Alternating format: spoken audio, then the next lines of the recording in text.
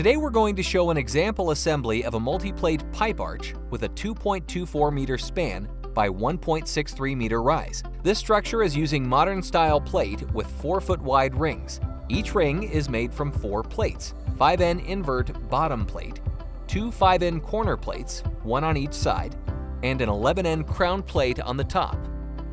The size of the plate is identified by the number of bolt hole spacings. Each bolt hole spacing is called an N. For example, this picture shows a 5N plate, which you can determine by counting the five bolt hole spaces. 1, 2, 3, 4, 5. These holes are located on the circumferential seam, curved part of the plate that goes around the perimeter. The other joint is called the longitudinal seam, which is identified by the staggered holes located in alternating peaks along the length of the structure. When starting assembly, it's important for the first plate to be placed in the correct orientation.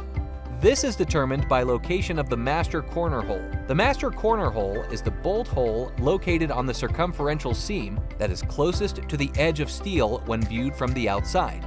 The correct location of the master corner hole is identified on the assembly drawings provided with each structure. The drawings which are provided with all structures show the plate sizes, locations, and correct overlaps that are required for proper assembly. Spring clips can be used to help install the bolts on the invert of the structure. Structures with plates on the bottom, such as this pipe arch.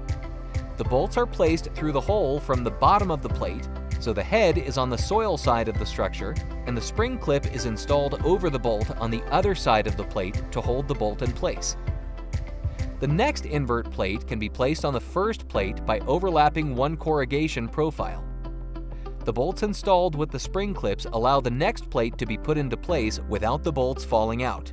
Now you can see how the spring clips help hold the invert bolts in place, since you don't have easy access to the underside of the plate to install the bolts once the next plate is on. Now note, there are other methods to install the invert bolts without using spring clips that the assembly contractor may choose to use. Pry bars and drift pins may be used to make sure the holes are lined up perfectly before installing the nuts and bolts loosely.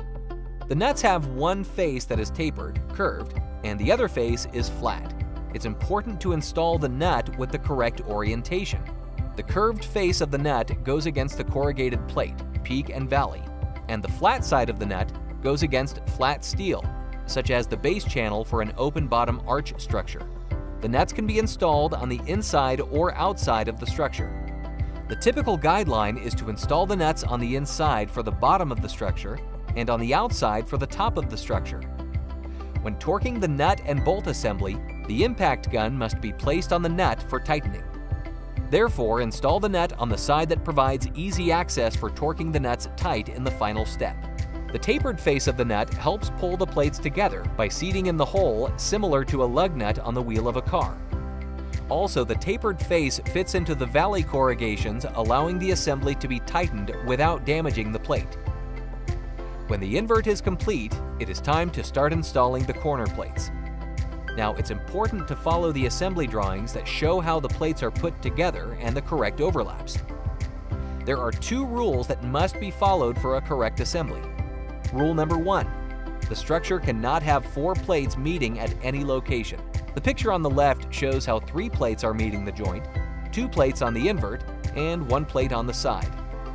Rule number two, for the longitudinal joint, the hole in the valley is located closest to the visible edge must be maintained. The picture in the center shows how the bolt hole in the valley is close to the edge of steel that you can see, and the hole on the peak is further away from the edge of steel that you can see. The rule about hole in the valley is located closest to the visible edge can be difficult to see at first. So for example, the middle picture shows the wrong plate overlap. By installing this plate on the other side, you can see that the hole in the valley is farther away from the visible edge of steel, and the hole on the peak is closer to the visible edge. Now, even though all the holes line up, this seam is wrong because the rule hole in the valley is located closest to the visible edge has not been achieved. By moving the plate to the other side as seen in the picture on the right, now the same plate joint will meet the requirement of hole in the valley is located closest to the visible edge for the longitudinal joints.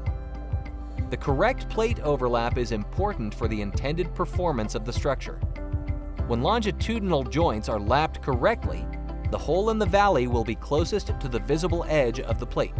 Continue on with assembly of the plates in accordance with the shop drawings. It's best practice to install all the bolts and nuts loosely as each plate is being installed. Once three or four full rings have been assembled, then you can begin tightening the nuts to the torque requirement listed on the drawings.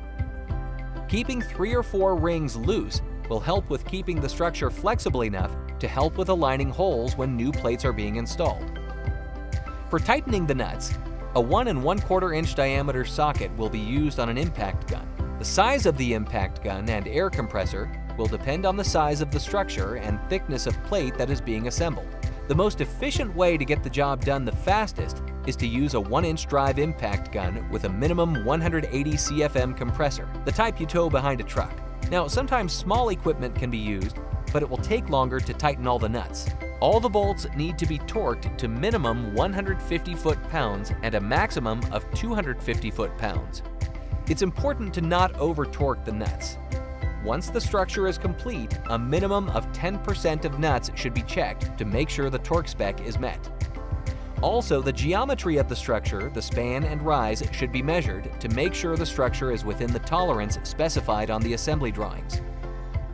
Okay, now that the structure is assembled, it's important to conduct an inspection to ensure everything is correct before backfilling.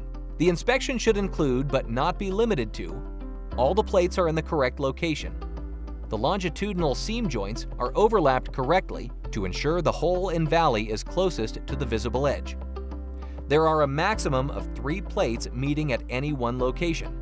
All the bolt and nut assemblies are installed in the overlapping plates. The nuts are torqued within the specified range. The geometry of the structure is within the specified tolerance.